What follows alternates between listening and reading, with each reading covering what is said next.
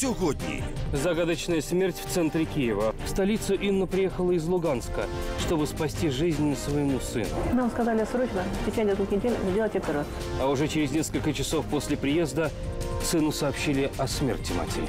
Вполне можно предположить самоубийство. Как будто сама кинула. Такого ж не может быть. Я хочу знать, почему умерла моя мама. говорить Україна. Сьогодні 19.45 на каналі Україна.